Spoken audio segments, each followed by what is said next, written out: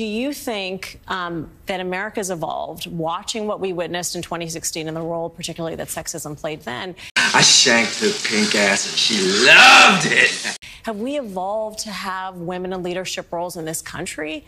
And if not, what do you think still needs to change? What? Well, in short, Huma, yes, I think we have. what?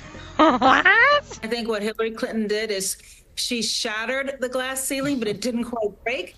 Oh! Oh! Wow. and what I expect Vice President Harris to do is to break it into the zillions of pieces. She helps bring us together. She puts joy and laughter. What's so damn funny about it? and a sense of unity back in our country. And that's why I think it has been so electric. Oh, very funny, huh? One more word out of you and he gets it, all right? Come on.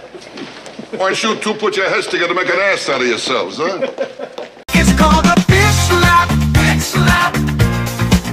Come get your face clap, face clap.